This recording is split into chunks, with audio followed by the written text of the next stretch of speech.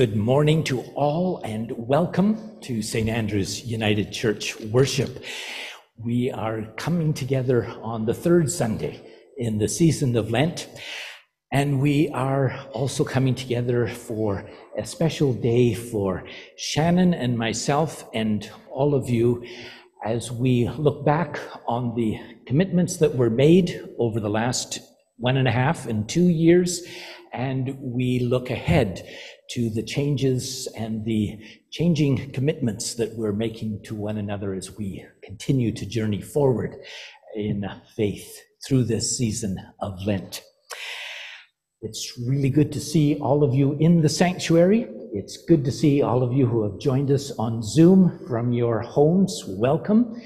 And let us come together united in the Spirit of Christ as we gather on the, this land, we acknowledge that this place has been cared for and stewarded by many, many generations of people. We acknowledge that the, it is the Haudenosaunee and the Anishinaabeg people who have been here coming together for worship, for gatherings such as this, and for daily life. We are all members of the Williams Treaty. And as participants in the Williams Treaty, we continue to strive for reconciliation and for right relations with all our treaty partners.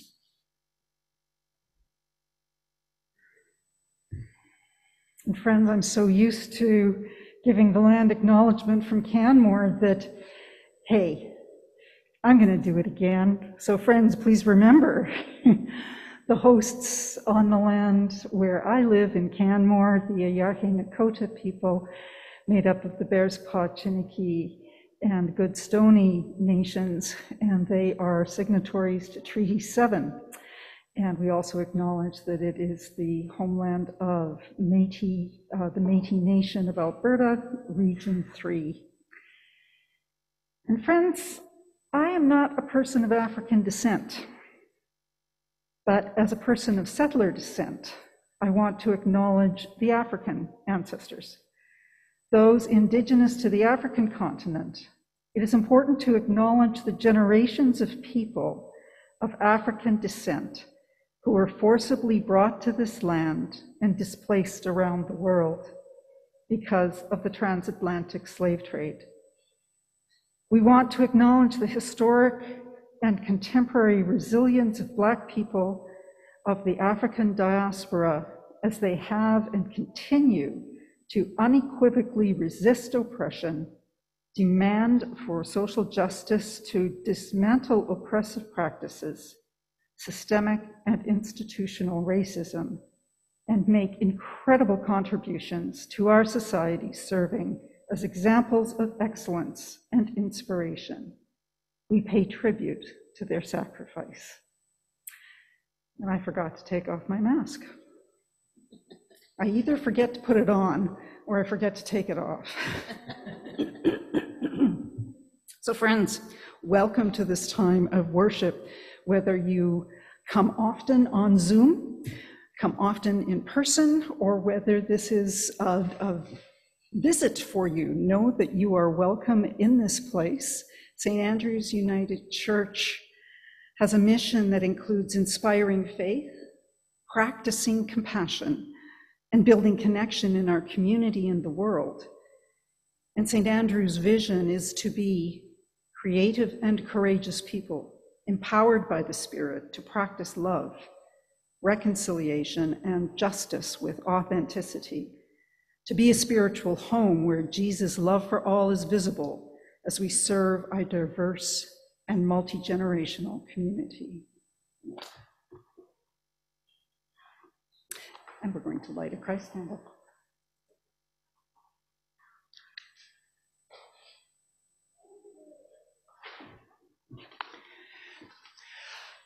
The light of this Christ candle reminds us that we come together in worship with Christ's Spirit in our midst, uniting us from wherever we are.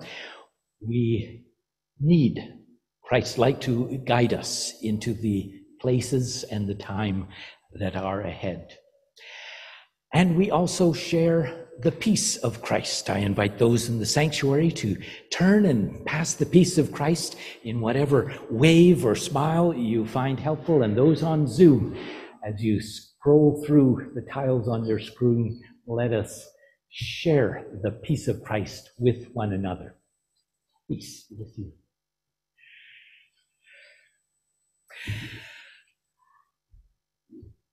I'm just going to make a few announcements and then Shannon is going to add some as well. All in the sanctuary this morning are invited to stay after the service for a time of fellowship and a time of coffee in the upper hall, straight through these doors and to the end of the hall. Um, it, it, last week, Shannon and I were gifted wonderfully with books that we're going to be using during the Time for All Ages in service this morning. There is space in those books for any who have not had a chance yet to add a signature and your wishes. Uh, so those books will be in the upper hall as we gather after the service this morning. If you uh, are wanting to get a chance to uh, leave your wishes with both Shannon and myself. This coming Tuesday, you can come back to the church for the church cafe. I was delighted to have had a chance last Tuesday to be here in a circle of, it was at least 20 people, uh, in enjoying fellowship with not only others in the congregation, but with neighbors, with those who live nearby. So the gathering this Tuesday is going to be a St. Patrick's Day theme if you have something green to wear. That's uh, would be entirely appropriate. I also want to mention, draw your attention to the announcement in the bulletin about sleeping children around the world. Our campaign for 2023 is beginning and will continue throughout the season of Lent please make note for all those who are interested in finding out more about it or in making a contribution. Uh, the information is in your bulletin on how you can do that. And coming up in your life next Sunday, Yvonne Weston is going to be your worship leader and preacher. I know it's going to be, sorry? Michelle is your worship leader. and Yvonne is preaching. Thank you for that. And following on March 26th, that will be your first Sunday with Reverend Deborah Foster. How exciting is that? I'm going to go off script for just a moment because I want all of you to know that there is a hot pot of coffee on in our place in Canmore when you come to visit me.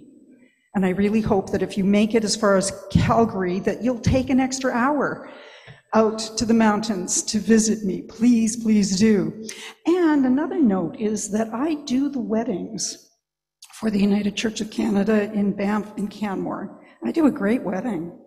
So if you or anyone in your sphere of influence is getting married, um, drop my name, and that, that Banff and Canmore are lovely places to get married. and I'll go back on script. This coming uh, Tuesday, March the 14th, is Pi Day. That is 314. And it is it has become a national event in the United Church of Canada where we lift up and celebrate uh, being an affirming congregation. And we're going to hear a little bit more about that, but please take a look at the invitation to take part in um, the special event that's going on on the evening of March the 14th. It looks like it's going to be a wonderful, wonderful event. And now we are going to turn to our moderator, the Right Reverend, uh, I think, Right Reverend Dr. Carmen Lansdowne, who uh, tells us about the celebration of Pi Day this year.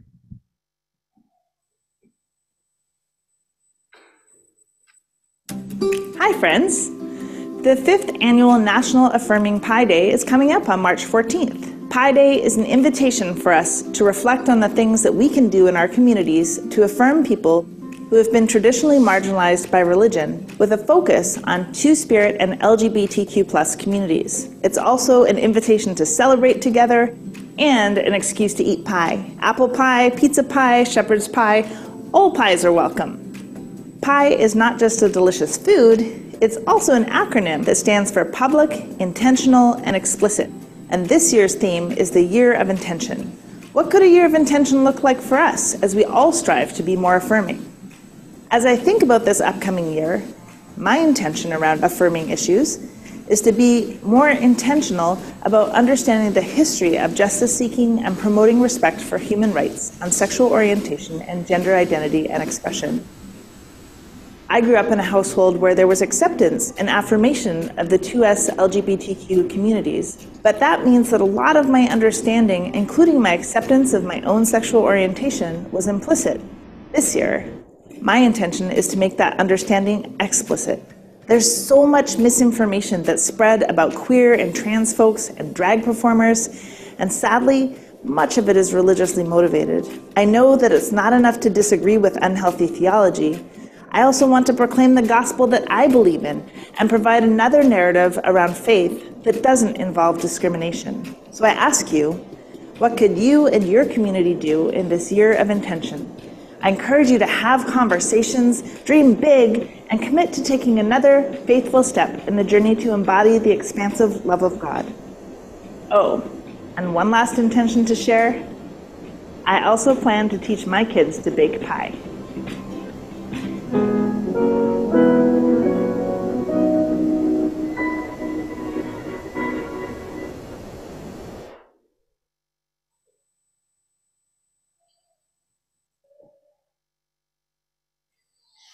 Friends, we're going to uh, join in a responsive call to worship, and it is going to be on the screen. It didn't make it into the bulletin. I will be reading the, uh, the light face print, and you can join Reverend Tim on the bold face print. That's also a little bit yellow. Welcome, pilgrims, on the way to the cross. We are learning to follow Jesus. The way is long, and we are thirsty. We seek the living waters of Jesus. We feel the weight of scarcity warring with hopeful whispers of abundance. We need the living waters of Jesus. We wonder if God will provide us with what we need here and now. As God gives us the living waters of Jesus, so God calls us to quench the thirst and meet the needs of our neighbors. Pilgrims on the way, come, let us worship God. We come to worship God as we learn to live inside out. Amen. Let's come together as we sing number 642 in Voices United Be Thou My Vision. Let us join together in the first hymn.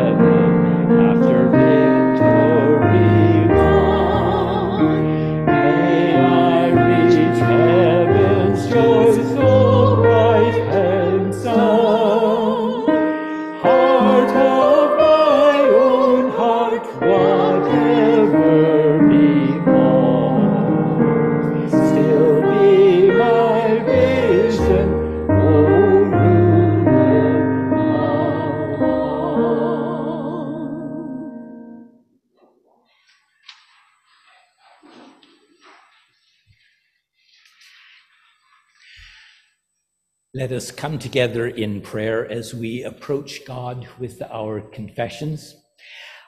Let us pray. We thank you, O Lord, for in your loving wisdom you created one human family with a diversity that enriches our communities. We pray to you, O Lord, that we always recognize each member of this human family as being made in your image and beloved by you with worth and dignity.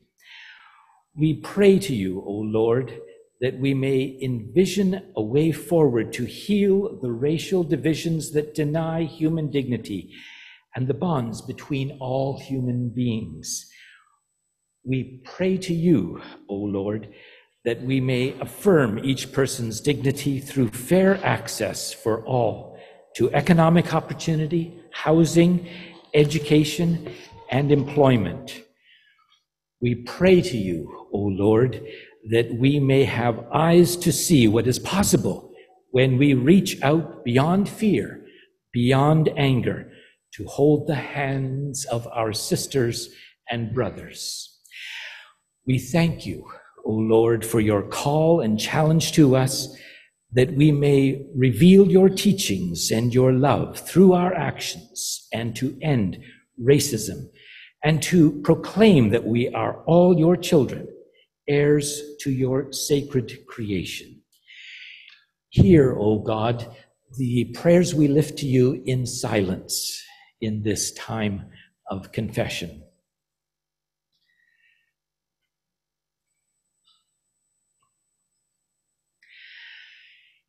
Hear all these prayers we offer, and in your love answer, O God. Amen.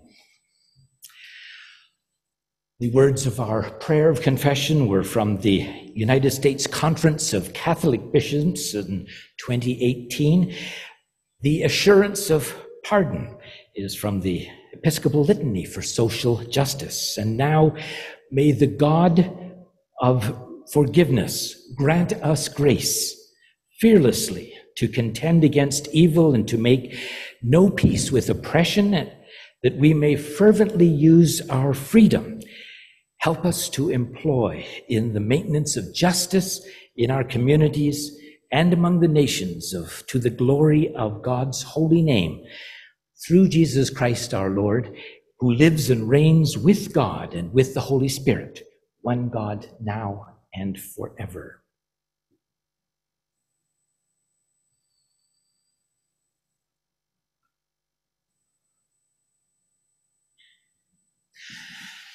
Now, I know that there are some younger ones in the sanctuary here with us, and I'm going to invite you to come on up to the front and have a seat on the carpet or on the steps. I have brought a book with me so, Sean, if you want to join us as well here at the front.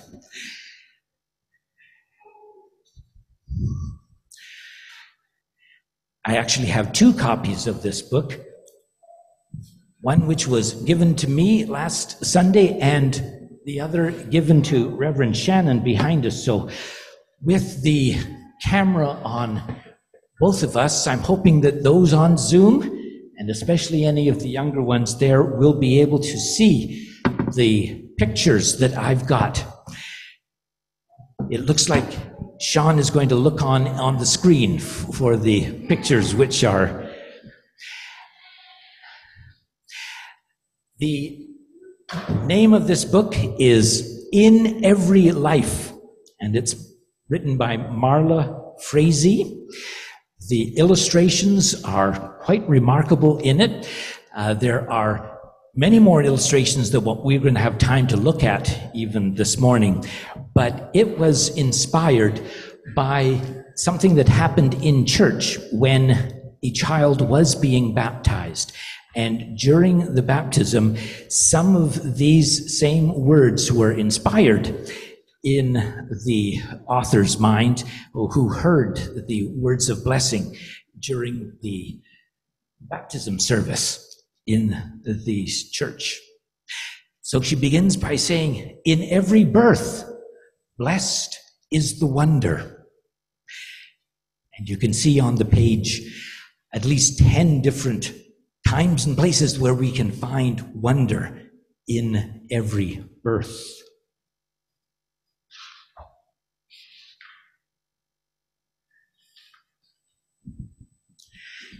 Isn't that a wonderful picture? That inspires wonder.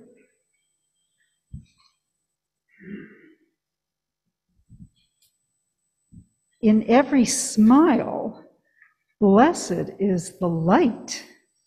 And oh my goodness, we see people laughing together in the wind, and a mom tossing a baby in the air, and somebody hugging a furry friend. Lots of ways that smiles bless us. And oh, there is a wonderful picture of light coming next. Light shining into many places that people find wonder and hope. The next page says, In every hope, blessed is the doing. We move from hope to lovingly showing uh, things that we are accomplishing and learning in all of the pictures on this page.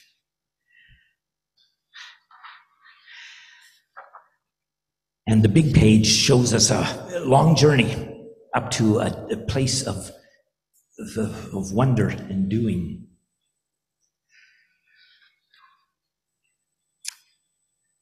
In every sadness, blessed is the comfort. Sadness is a part of life, and we see a number of different places and spaces where there is sadness. Someone is sick in the hospital. It looks like someone is lonely, although they have a furry friend with them.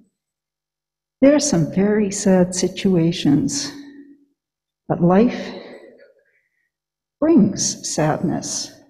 And in the sadness, there is comfort. Here's a picture of some people. It looks kind of like a dreary spot, but beautiful at the same time. And they're snuggled up together with a blanket.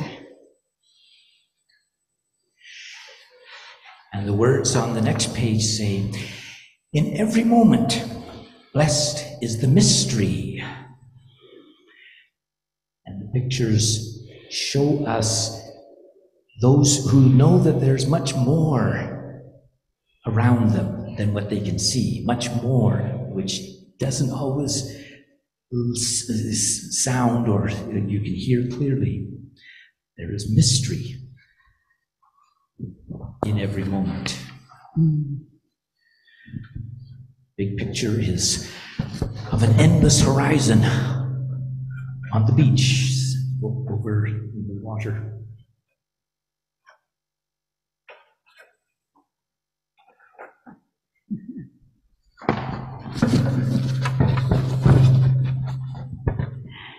In this page, in every love, blessed are the tears. Sometimes they're happy tears, sometimes they're sad tears, but tears are a blessing. When we win, when we spend special time together as a family, when we say goodbye.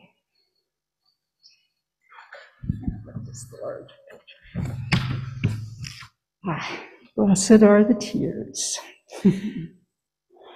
Blessed are the tears. In every life, blessed is the love. And that's the title of our book, In Every Life. Blessed is the love with many ways of expressing love and finding love, and where love is learned and grows in our experience. And the final page has some writing in the sky as friends go into the distance with those who they love. And more mystery and love and care and blessing. And that is in every life inspired by a child's baptism in church. Would you like to pray for us, with us? Since we're so good at it. Let us bow in prayer. Thank you, Lord, for things that we cannot see, the mystery, the love, things that we know are here through our family and friends and through your presence. Go with us now as we enjoy learning in your love. Amen. You're so good at praying, you should become a minister.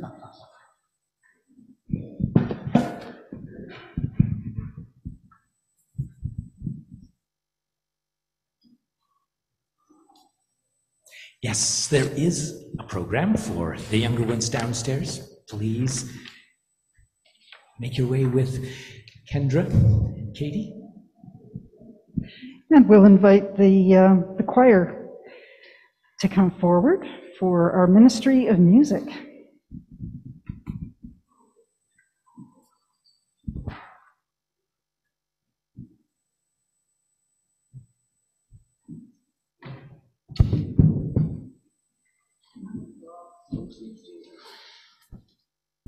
mm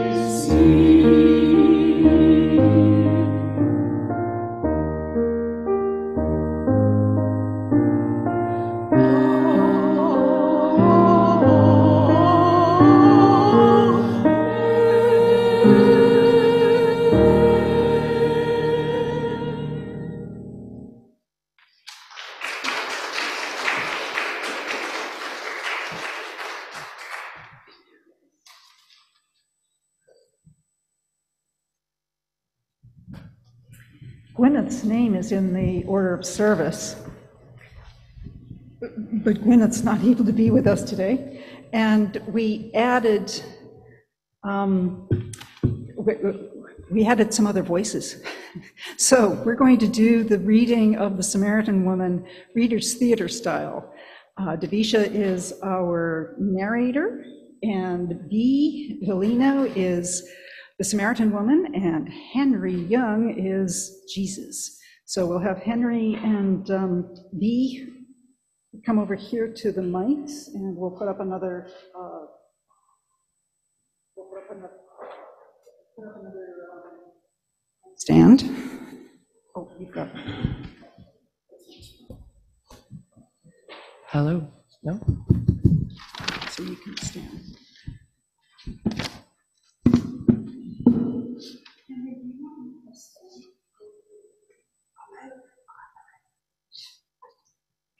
Good morning, everyone. I can begin. Wonderful. So, um, we will be looking at the story that can be found in John 4, uh, 5, verse 5 to 30, um, and verse 39 to 42. So he came to a Samaritan city called Sychar, near the plot of ground that Jacob had given to his son Joseph. Jacob's well was there, and Jesus, tired out by his journey, was sitting by the well. It was about noon. A Samaritan woman came to draw water, and Jesus said to her, Give me a drink. His disciples had gone to the city to buy food. How is it that you, a Jew, ask a drink of me, a woman of Samaria? Jews do not share things in common with Samaritans. If you knew the gift of God and who it is that is saying to you, Give me a drink, you would have asked him, and he would have given you living water. Sir, you have no bucket, and the well is deep. Where do you get that living water? Are you greater than our ancestor Jacob, who gave us the well, and with his sons and his flocks drank from it? Everyone who drinks of this water will be thirsty again.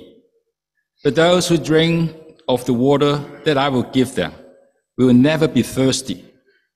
The water that I will give will become in them a spring of water gushing up to eternal life.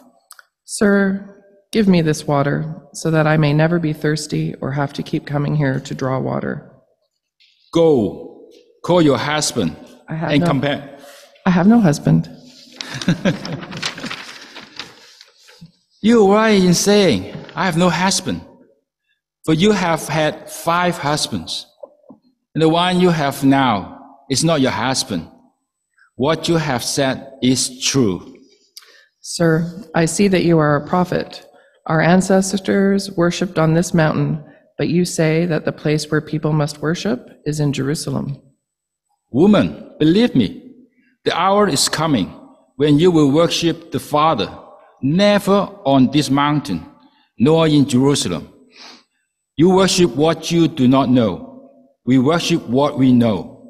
For salvation is from the Jews. But the hour is coming, and is now here, when the true worshippers will worship the Father in spirit and truth. For the Father seeks such as this to worship him. God is spirit, and those who worship him must worship in spirit and truth. I know that the Messiah is coming, who is called Christ. When he comes, he will proclaim all things to us. I am he, the one who is speaking to you. Just then his disciples came. They were astonished that he was speaking with a woman, but no one said, What do you want? or Why are you speaking with her? Then the woman left her water jar and went back to the city. Come and see a woman, sorry, come and see a man who told me everything I have ever done. He cannot be the Messiah, can he?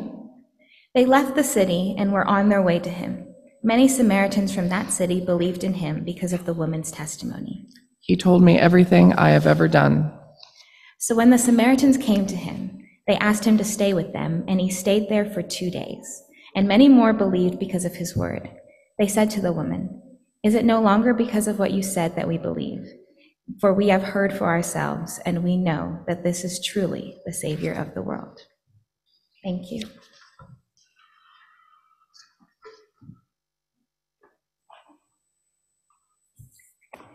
Thank you so much for embodying the words.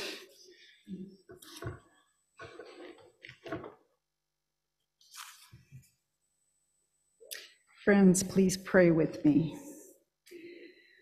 Holy One, may the words of my mouth and the meditations of all our hearts be acceptable in your sight, O God, our rock and our Redeemer.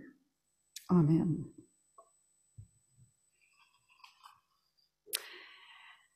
This is such a great story. And if you can get your uh, head beyond the consistently challenging language that the author of the Gospel of John uses all through his book, this story literally drips with symbolism. So I'll try to preach only, oh, I don't know, two, three, or four of the sermons, you know, possibly two dozen that actually live in this reading. What I love most about this story is that we see how Jesus breaks all the rules that get in the way of experiencing the life that God intends for us. In this story, it's important to understand who the Samaritans were. Samaritans were a group of people hated by the Jews. Many generations before Jesus, there was a war that saw the Babylonians invade Judea, and where most of the people were either killed or taken into exile. A few Israelites, who were not considered worth killing or worth carrying off, were left in the area of Samaria. The conquering force settled in all of what used to be Israel, and eventually they intermarried with those who were left behind. When the exiled Israelites returned to their homes 70 years later, they found to their horror a mixed race of people who resembled them but had a strange language and odd customs and a corrupted form of the Jewish religion.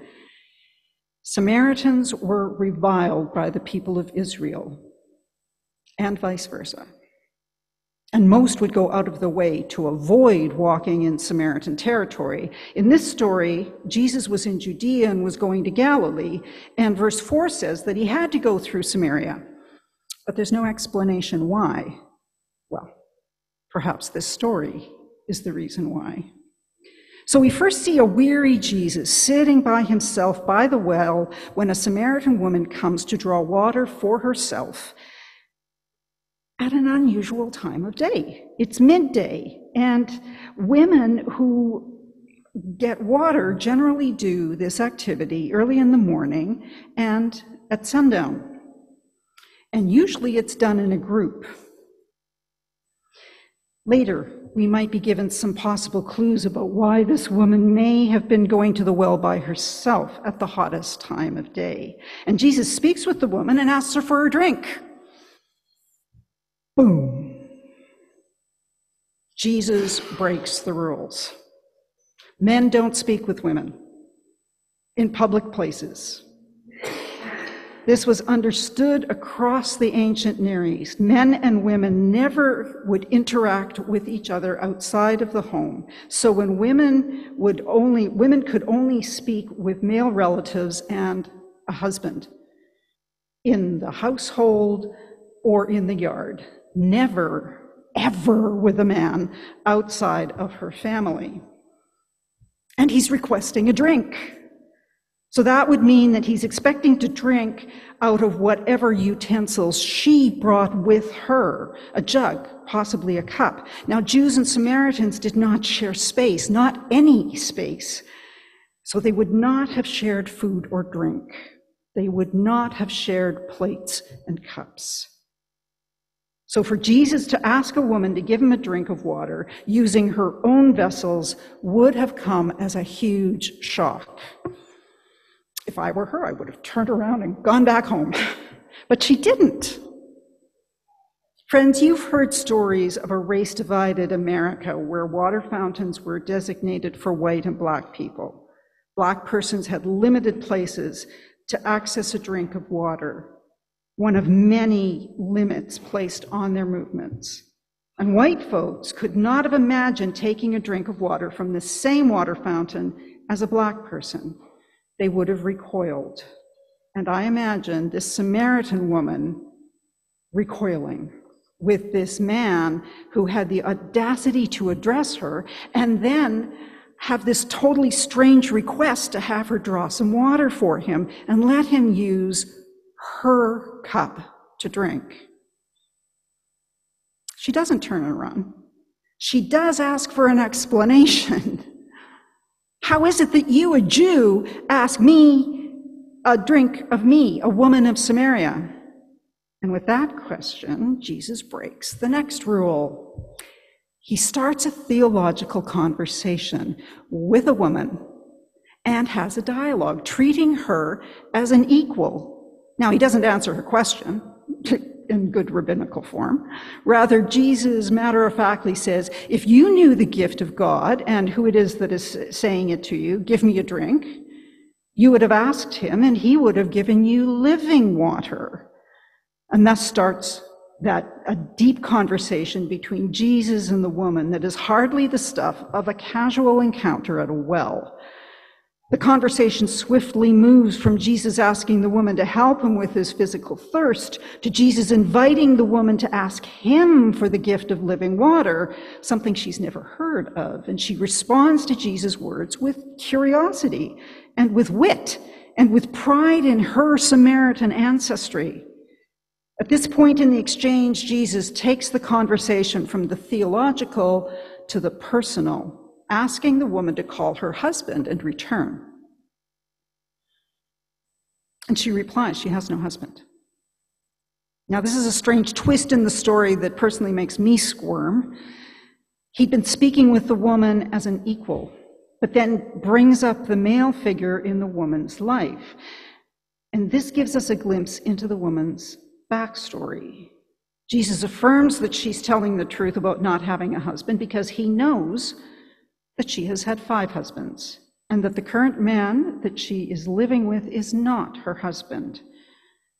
Her tragic story of a string of past husbands suggests that she might have been shunned, likely was shunned by the other women of the community. And that could be why she's at the well on her own in the noontime heat. Now, interpretation of this story for much of our Christian history has focused on placing ethical judgments upon the woman, that she was a woman deserving of the scorn of her neighbors. But the simple facts of the story don't set that out. And Jesus does not pass judgment on her. He simply states what he knows. And he knows that this woman has had five husbands, and the information isn't explained. Now, the woman's shocked response to his knowledge proclaims that she recognizes him as a prophet. So Jesus may have had insight into her story. He may have known that she was five times a widow, a tragedy that would have caused scorn towards her instead of compassion. Or Jesus might have seen that she had been repeatedly abused and discarded by divorce by a succession of men, because they could do that just by saying the words. Also, a reason to be compassionate towards her rather than judgmental. Now, the woman is clearly shocked with the revelation that Jesus knows of her painful past, but she offers no further personal information and she tries to get back onto safer ground by talking about theology and history again. She talks about the proper place of worship, that her ancestors worshiped on the mountain where they stood by the well of their ancestor Jacob, and that the Jews insisted on proper worship only being at the temple in Jerusalem. This gives Jesus the opportunity then to give her a sermon about the coming time when the place of worship would no longer matter, Rather, that people who believe would have the freedom to worship God, the Father, in spirit and in truth. And this part of the story ends with the woman saying that she understood that the Messiah was said to be coming, and Jesus discloses himself as that Messiah speaking with her. The story ends with the woman becoming the first non Jewish evangelist. She returns to the community a changed person, proclaiming the Messiah, that the Messiah is in the town. And she wants to share this amazing news with a group of neighbors and family who may have shunned her and dismissed her, but they don't dismiss this person. So we also witness the return and shock of the other disciples who see, see the end of the one on one conversation between Jesus and the woman. So they were witnesses to some of the social rules that Jesus broke in the story.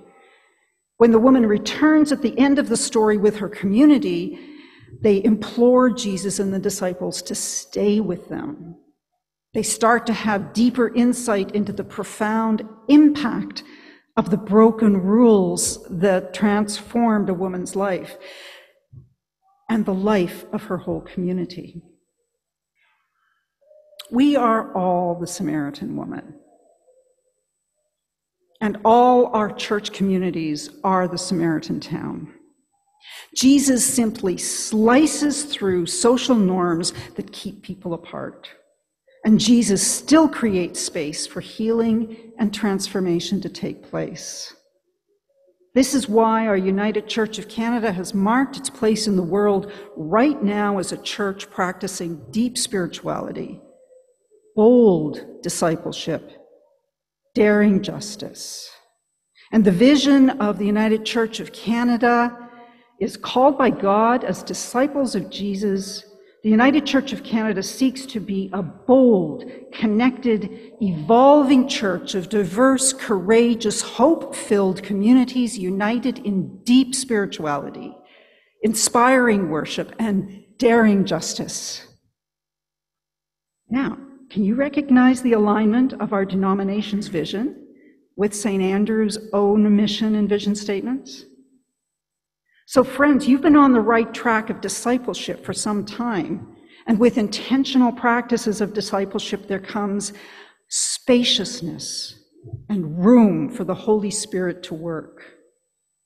The story of the Samaritan woman at the well and her encounter with Jesus shows us that your path of discipleship that has led us to today, and your path of discipleship will lead you into your future. Jesus broke all the rules and created a healing space that transformed this woman's life and gave her a taste of Jesus' living water, inspiring and exciting her so much that she simply had to share that living water with her community. So, friends, this is why we do the hard work of becoming an anti racist church. We follow Jesus into those hard conversations that are necessary to break down all of the unwritten rules the white privilege, the unconscious bias, the microaggressions that keep the living waters of Jesus' message from flowing through all of our sacred spaces and in all of our spaces of our lives.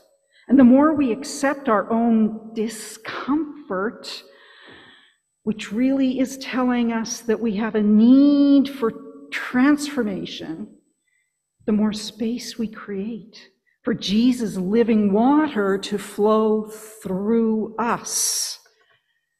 And this is why we do the hard work of reconciliation with First Nations. We follow Jesus into those hard and uncomfortable conversations, learning about the tragedy and painful legacy of the residential schools and of settler contact overall. We allow Jesus to see and name all those places that need healing so that there is space created in our souls to heal ourselves. And so we can heal our relationships with the first peoples and with all our relations the water and the trees and the earth so that we can walk with First Peoples together in a good way. And this is why this faith family has stepped into the courageous path of becoming an affirming congregation after discussing it for a decade.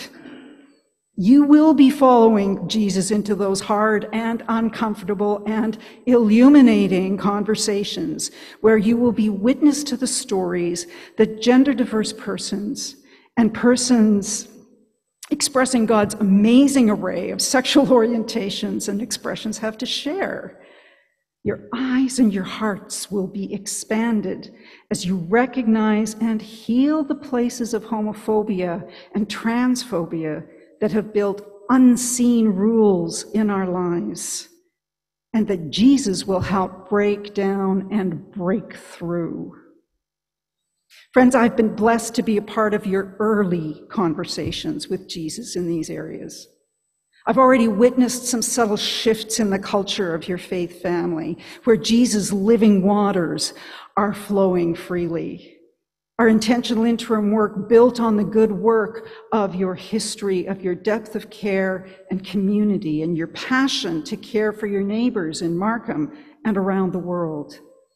This intentional interim work has helped you take the next step, and Reverend Deborah will help you take the next step in creating ever more spaciousness and grace using your creativity and your courage as you take each new step.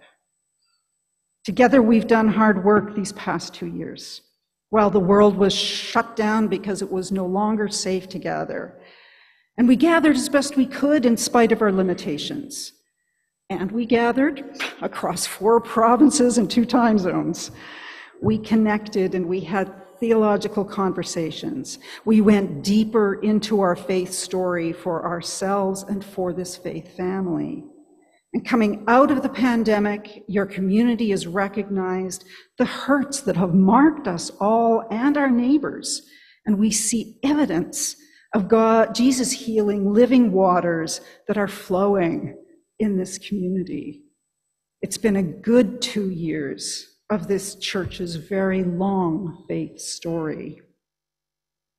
So, friends, thank you for inviting me and my colleague and my friend, Reverend Tim, on this journey. A pandemic and a journey into your faith story these past 24 months. And I leave you now but I know that with Reverend Deborah's care, you will keep on meeting Jesus at the well and allowing him to lead your faith family into hard conversations that will heal and strengthen and invite others to join you in being a safe, healing space of transformation right here on Main Street in Markham. Friends, may it be so. Amen.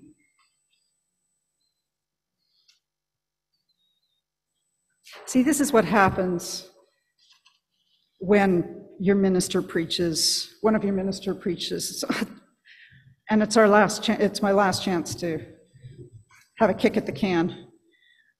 I keep you late. So if you have to leave, please go with uh, our blessings, but we are going to carry on with, with our service as we sing, My Love Colors Outside the Lines.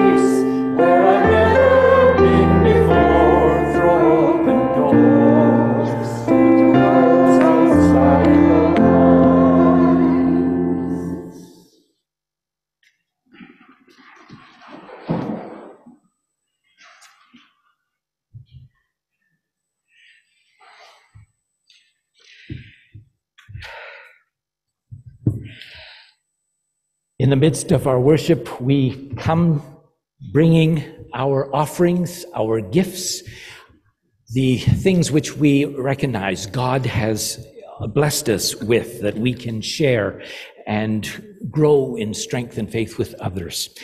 And I'd like to thank all for their continuing support of St. Andrew's United Church in so many ways.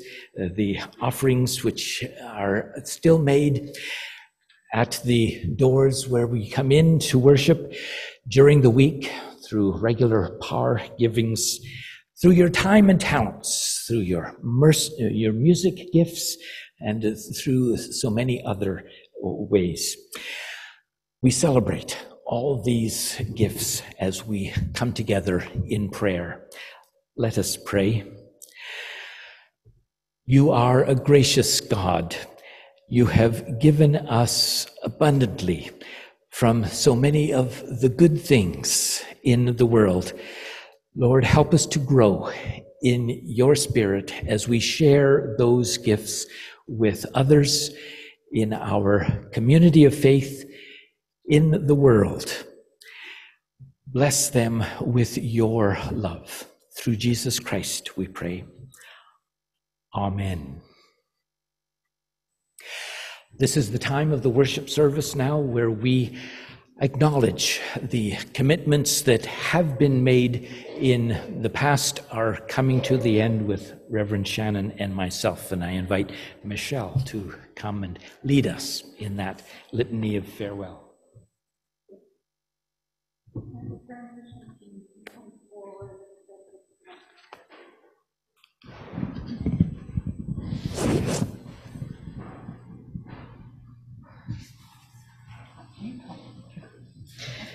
A church family is constantly changing. Individuals come and go in our church life. Loved ones come to the end of their lives. It is important and right that we recognize these times of endings and beginnings. On February 27th, 2022, our ministers, transition team, and Shining Waters region had a service of covenanting where we made promises to one another for the well being of this congregation through the remainder of the intentional interim period. Today, we release all parties from those promises with gratitude, and we say farewell to Reverend Shannon Mang and Reverend Tim Dayfoot, whose terms as our intentional interim minister and volunteer associate minister come to an end. Members of the transition team, at the covenanting service, you accepted the call to work together in this community of faith as a transition team for this intentional interim time.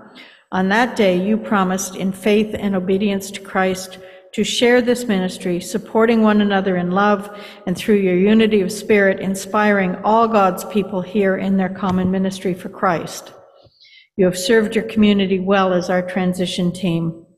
Today, we release you from your leadership as our transition team, accept our deep gratitude and thanks for your leadership. We accept your gratitude and thanks, and we extend our own deep gratitude and thanks to this faith family for your support through our intentional interim process. From today on, we will no longer be your transition team, but we will continue our journey of faith with you all and with this community in so many ways. Thank you so much, and thank you, team. You guys are wonderful.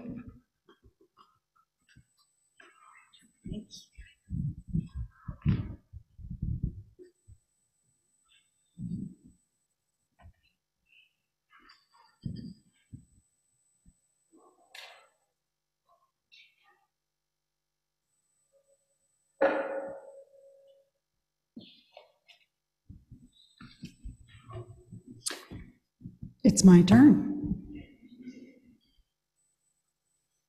Today, I thank St. Andrew's United Church, its members and friends for the love, the kindness, and the support shown to me these past two years. I ask for your understanding and forgiveness for mistakes I have made and for expectations unmet. I'm grateful to God that so many here have graciously accepted my leadership.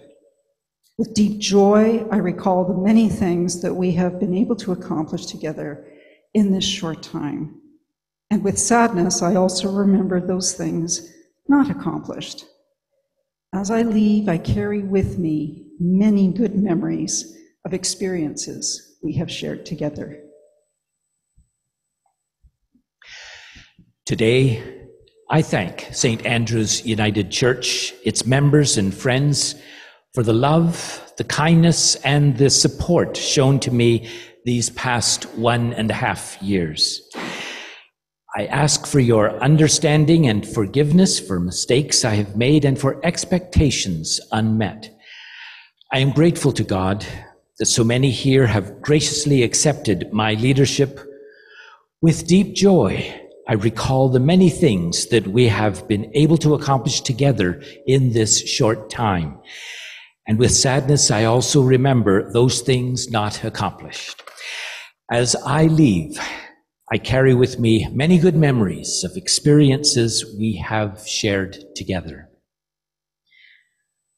We receive your thankfulness and we offer our genuine forgiveness for any mistakes and shortcomings. We offer our heartfelt thanks for all we have accomplished and for our renewed mission and ministry. We now acknowledge your departure from this ministry with us, and we accept that you leave us as your, our intentional interim minister and volunteer associate minister. We express our gratitude for your time among us and ask for your forgiveness for our mistakes and shortcomings. Your influence in our lives will not leave us, even though you depart from us now. We accept your gratitude and offer forgiveness for any mistakes or shortcomings, trusting that our time together and our parting are pleasing to our God whom we are called to serve.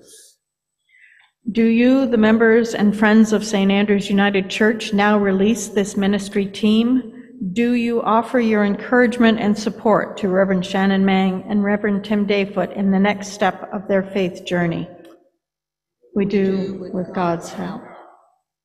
Do you, Reverend Shannon Mang, release St. Andrew's United Church, Church faith family from turning to you and depending on you?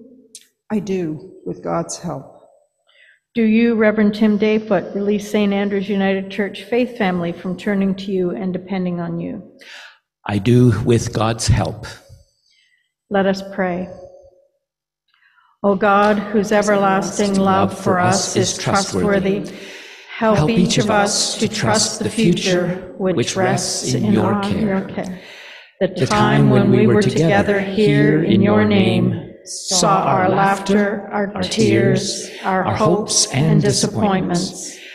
Guide us as we hold close these cherished memories, but now move in new directions until that time to come when we are completely one with you and with each other. In the name of Jesus Christ, we pray. Amen. Amen.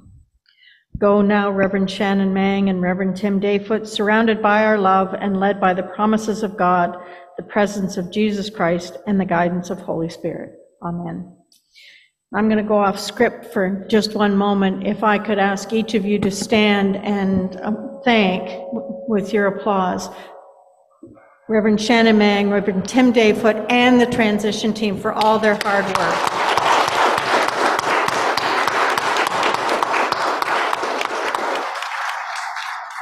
Thank you. And now I think we have a little video to share. If we can cue that up.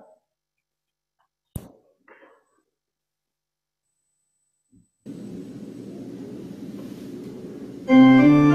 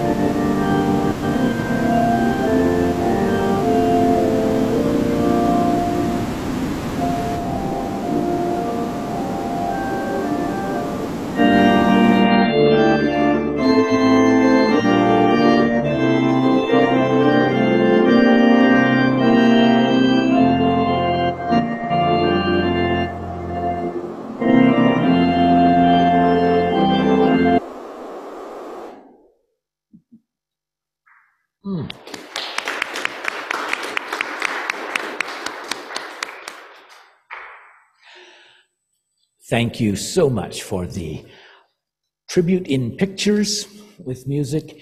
It re- brings back to my mind so many opportunities we have had to learn together, to get to know one another, to travel some way further along this journey of faith we all are on making in God's world.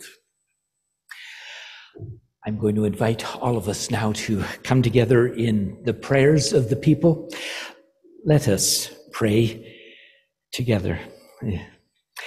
Loving God, we give you thanks for this place in our journey, a time when we can look back with fond memories, where we can look back with a feeling of accomplishment, where we can look back with the understanding that we have many more opportunities to continue growing in your love and in your spirit. And we give you thanks that we move forward in the confidence of your presence and your care as we meet and get to know fellow travelers in your love and in your world. Lord, we pray at this time for St. Andrew's United Church as it moves ahead in their work and in their commitment. We pray for Reverend Deb Foster, who joins St. Andrew's and goes through the wonder and the mystery of getting to know and learning the kind of support and help that each can give the other. We pray for the whole community of Markham that they might be alert and aware of the wonderful work that can be done working together in the spirit of cooperation and consultation. We pray, O God, for our world, which continues to be caught up in violence and war, hatred and persecution, poverty and alienation. We pray that your justice may bring peace with fairness and equity. We pray that your truth may expose oppression and bring new life to those who suffer. We pray that your love might unite hearts long divided, reconciling those separated by conflict and prejudice. Loving God, we pray for the people of our own community who are in need, those who are lonely, those who are tired, those experiencing illness or distress, those overwhelmed by the difficulties of living in this society. And we give thanks for those who walk beside us on our journey, whose lives are to us a blessing. Hear us, O God, whenever we lift our prayers to you in intercession, in thanksgiving, in spiritual growth. For we pray in the name of your Lord, our Savior. Amen.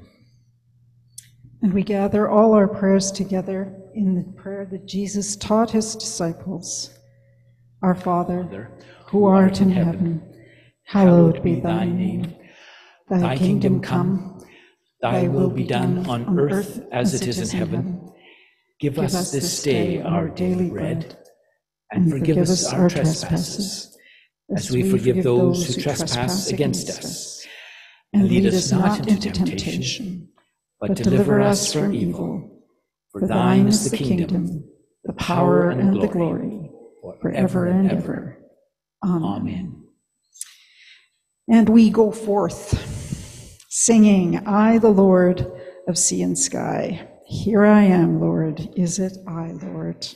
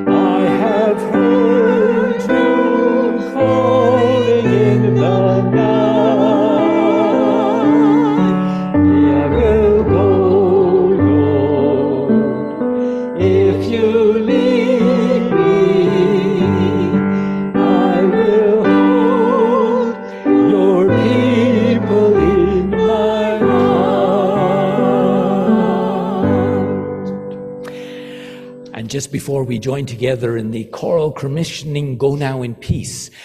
I want to say that after the service, I hope that everyone is able to come to the upper hall for a time of coffee and the kind of greetings that we give. But if you do have to leave early, Shannon and I will be up here at the front. We won't be in the narthex if you are making your way out of the sanctuary